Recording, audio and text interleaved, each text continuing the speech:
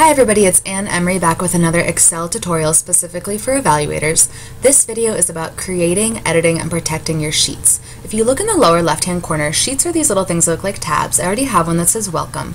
Sheet 1 is my raw data that I downloaded from our online survey tool and you can see sheet 1 is the, the default name for it.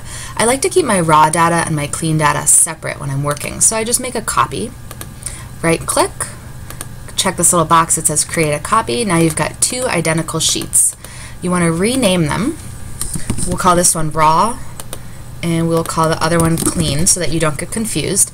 If you need more sheets, you can open as many as you need. You can also recolor your sheets. Sometimes people like to have one red, let's say to draw attention to it.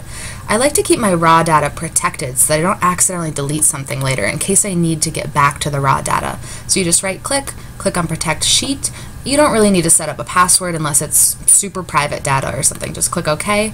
And now if you click on a cell, let's say you hit the backspace key, you can't accidentally delete something later. It gives you this little pop-up message that says your sheet is read only. If you need to undo it, no big deal, just right click again, click on unprotect sheet.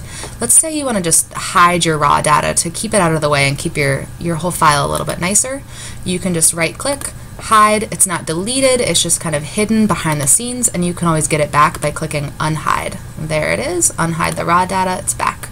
So I hope you enjoyed learning about creating, editing, and protecting sheets. Thank you.